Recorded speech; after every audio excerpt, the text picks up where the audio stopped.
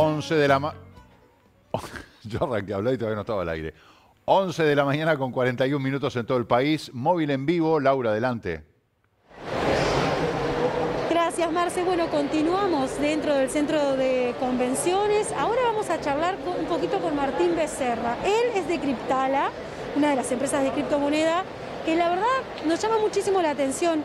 eh, y creo que no somos los únicos, porque el stand, la verdad que recién vinimos y estaba lleno, lleno de chiquilines, este, nada, consultando y queriendo interiorizarse en este mundo de la criptomoneda, que la verdad que es muy atractivo. Martín, gracias por estar charlando con nosotros. Buenos días. Nada, desde Criptala nosotros... eh, dale. Nada, desde Criptala nosotros estamos acá intentando difundir todo lo que es el mundo de las criptomonedas y ayudando a la gente cómo puede entrar y salir en este nuevo mundo. Contanos un poquito, porque yo te decía, la verdad que es, es muy atractivo, seguramente no solo para nosotros, hay muchos jóvenes preguntando y consultando por esto. Contanos cómo, rápidamente, ¿no? Cómo interiorizarnos, cómo entrar en este mundo. Nada, lo, primero que tienen que entender es qué, billetera o qué exchange van a utilizar para empezar a operar. Y una vez que tienen en- eh, definido eso, pueden contactarnos nosotros los ayudamos a cómo pueden eh, transferirnos el dinero para poder eh, comprar las diferentes criptomonedas. O al revés, hay muchos usuarios que quieren salir del sistema, han invertido hace unos años o recientemente y quieren eh, pasar eh, las criptos a, a dinero dólares o pesos uruguayos y nos contactan y bueno, nosotros los ayudamos a través de nosotros, que somos una casa de cambio de criptomonedas a dinero tradicional. Y cada vez este, van en aumento, ¿verdad? La gente cada vez se interioriza, cada vez quiere participar más de este tipo. Exacto, y es increíble cómo las nuevas generaciones eh, han eh, introducido de una forma muy natural esta nueva tecnología y nada, para ellos es como algo muy normal y naturalizado. O sea, y año a año hay cada vez más empresas que están en el rubro y bueno, eh, nada, el interés viene creciendo y el precio también viene creciendo de las criptomonedas. ¿Es fácil de aprender, es fácil de entender el sistema? Eh, En realidad es fácil, pero como cualquier nueva tecnología, eh, requiere que, las, que estudien y un conocimiento y hay personas que tienen mayor facilidad, pero en realidad cada vez, eh, año a año, las personas vienen eh, mejorando sus habilidades tecnológicas. Hoy en día todo el mundo usa un teléfono inteligente, utilizan WhatsApp y bueno, eh, creo que cada vez es más normal que las personas tengan conocimiento de cómo usar una billetera, cómo usar un exchange. Viene pero bueno, por eso nosotros queremos empezar a dar eh, talleres online para que la gente de forma gratuita pueda conocernos y que puedan eh, aprender ¿no? e introducirse de una forma más, más fácil y bajar las barreras de entrada en este nuevo mundo.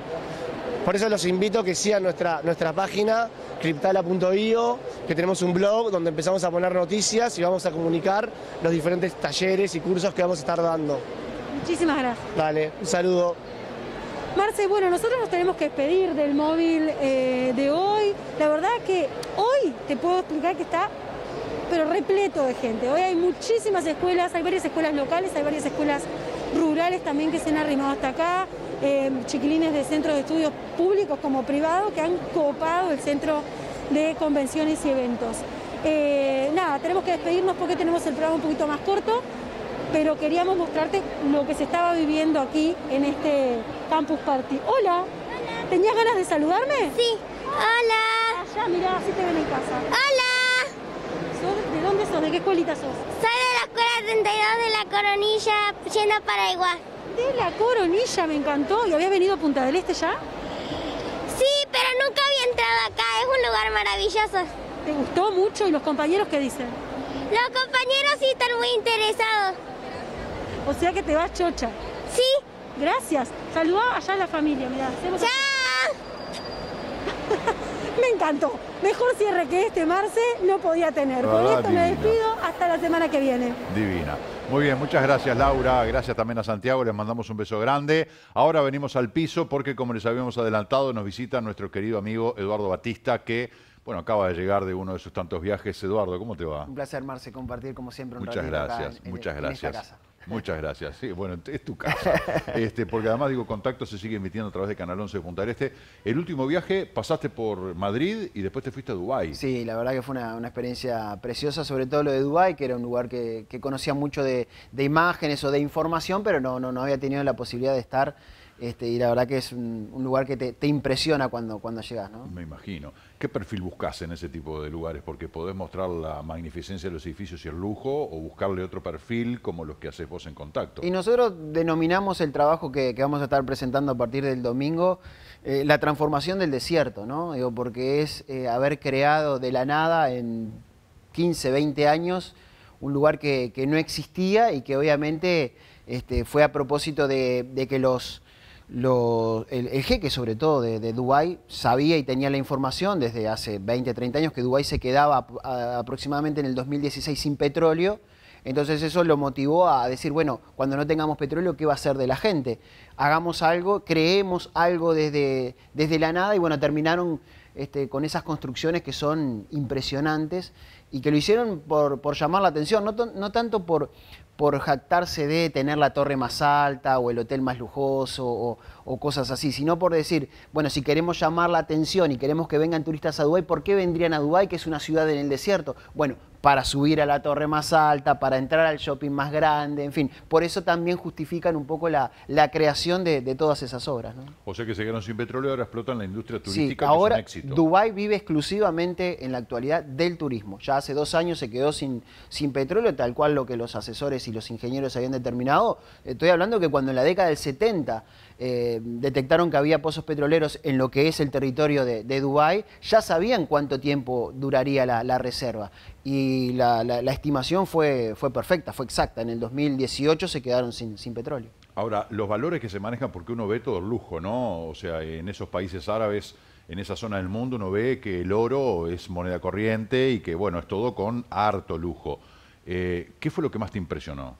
A mí me impresionó la arquitectura pero no solo porque los edificios sean altos, que son muy altos, sino porque eh, por lo distinta, por, lo moderna, porque justamente creo que por lo rara en algunos casos, por darle una denominación que, pueda justificar que, llame la atención. Esas imágenes que estamos compartiendo en este momento, Marce, son una isla artificial, una isla con forma de palmera, que es como un ícono de, de, Dubái, que no existía. O sea, mar adentro, rellenaron el terreno, crearon una isla, le dieron esa forma y hoy es un lugar que puede albergar hasta 80.000 personas. Es una ciudad.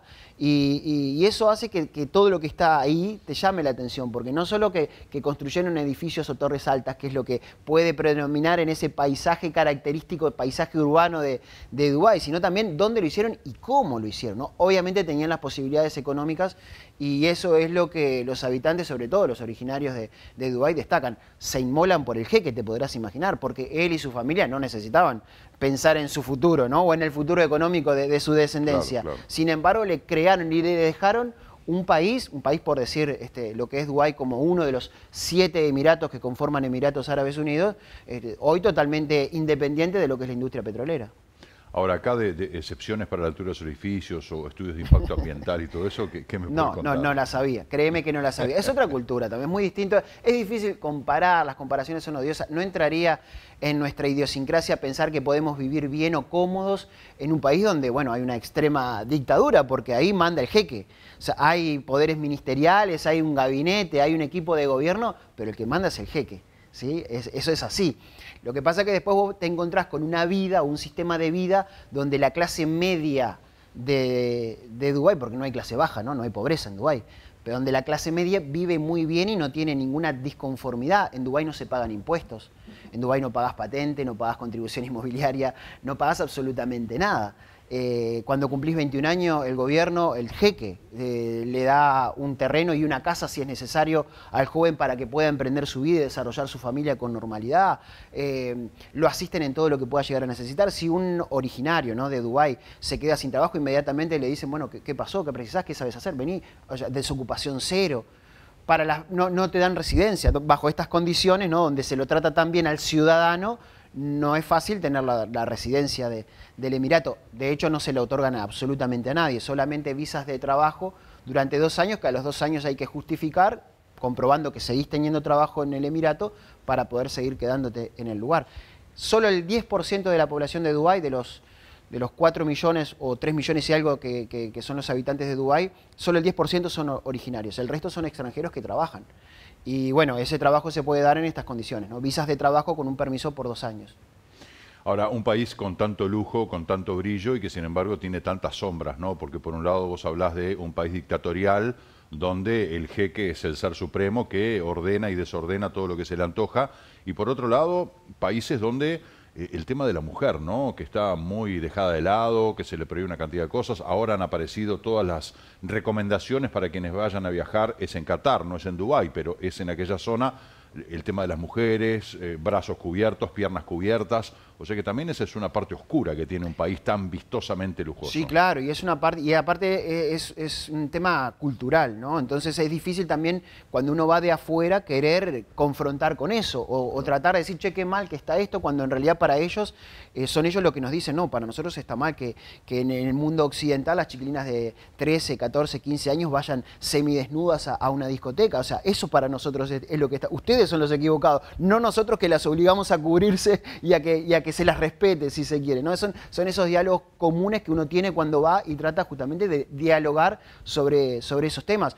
Hay que separar, ¿no? Dentro del mundo árabe hay lugares donde todavía la mujer es un objeto, donde todavía la mujer es cambiable por camellos. Eso sigue existiendo, no es una exageración. Hay, hay lugares del mundo árabe donde es así, donde es un cero a la izquierda la mujer.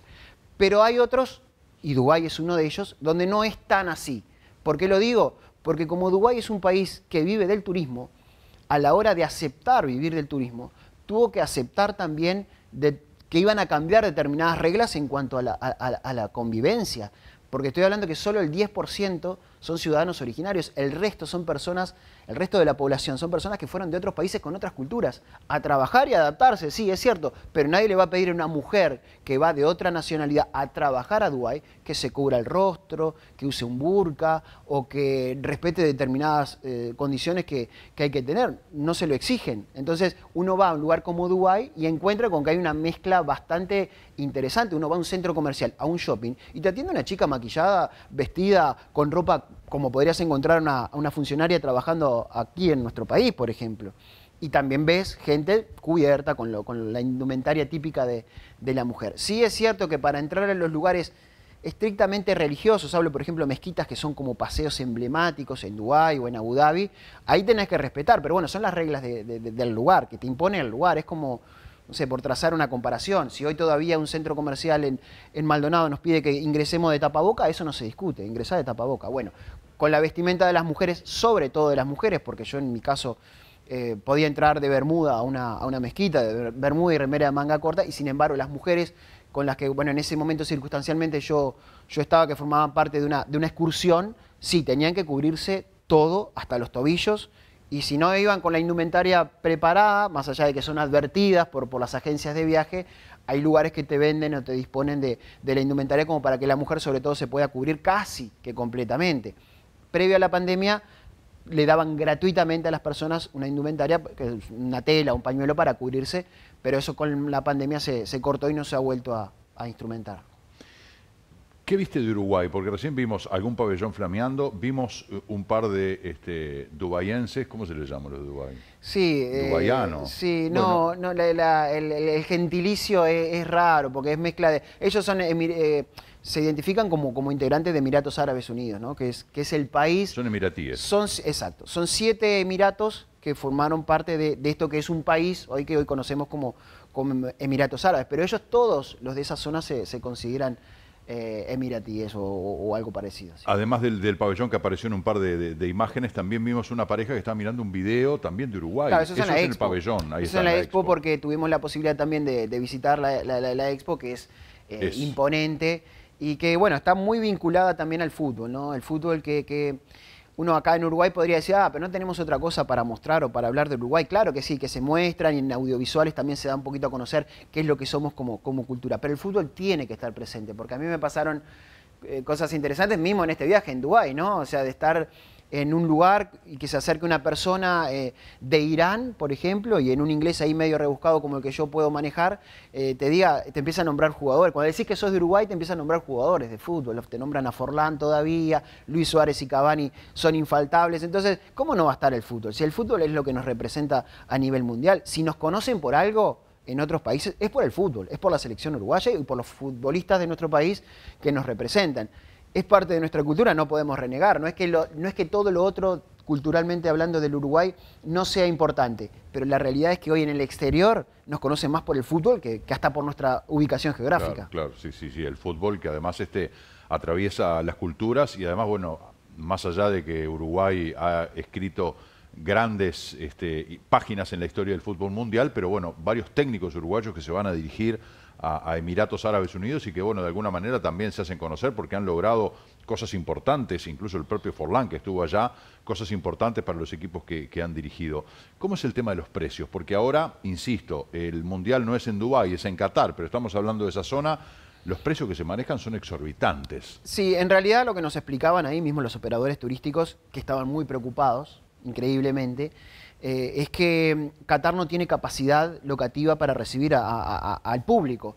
La FIFA prácticamente colmó la, capacidad locativa de, Qatar entre delegaciones, entre familiares de las delegaciones y también el personal de la FIFA. Hay un mundo que vive en torno a la FIFA que, forma parte de estas actividades. Eso prácticamente es el 80-90% de la capacidad en materia hotelera de, de Qatar. Por lo tanto, la gente se va a ir a quedar a Dubái muy, va a ser muy fácil viajar de Dubái a, Qatar porque es un vuelo de una hora y va a haber una frecuencia casi que te diría que más de, ómnibus, que la que tenemos de ómnibus a, la capital del país va a ser constante como para que la gente pueda ir el día del partido a la hora que le queda bien. No tenga que irse un día antes o tenga que estar una espera de 14 o 15 horas. No, no, no. Va a haber vuelos cada una hora. Entonces la gente se va a quedar en Dubái. Eso hizo, obviamente, que los precios se triplicaran. Es una relación de oferta-demanda a nivel mundial.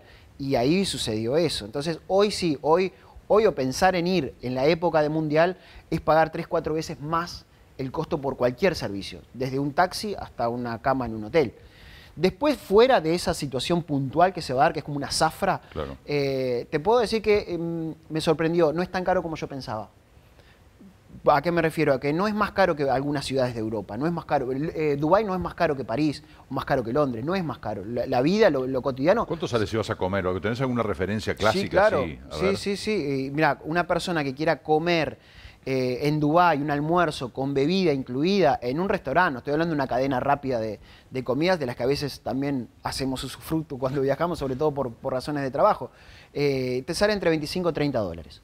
Por persona y en un restaurante. En un restaurante. Que no es más caro de lo que puedes llegar a comer en Madrid o, lo que puedes comer en, Londres. Incluso me parece que es un poco más caro todavía. Entonces, uno tiene un preconcepto. Una habitación de un buen hotel, cinco estrellas, en Dubái, fuera de esta zafra del Mundial, lo conseguís por 100, 120 dólares. Es lo que pagas por cualquier hotel, a veces en cualquier lugar del mundo. Entonces, a veces...